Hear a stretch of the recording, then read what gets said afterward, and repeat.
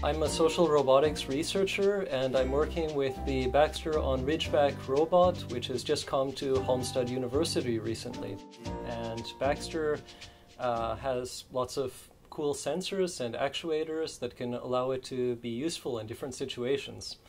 Uh, so here at Halmstad University, we are using it uh, to identify when people have fallen down uh, so that the robot can help them.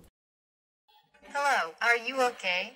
Uh, a robot can maybe uh, cook with you and make sure that uh, you're eating healthily. I'm doing a master thesis under Professor Martin Cooney, and my thesis goal is to prepare the healthy food for the older people.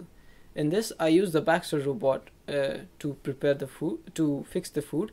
In this, the Baxter robot first will take a picture of the food plate, then it will separate the different food from the plate, like uh, in tuna and the rice. First, we'll put the sensor in the rice and uh, record all the values. Then it will put the sensor back in the tuna and it will record all the values. And if there are any value that is less than required, the Baxter will add the value. Uh, this is the goal of the thesis. Uh, so we think that robots can do lots of useful things maybe in a person's home one day. Or a robot can uh, do something fun with you, so it can draw with you, for example.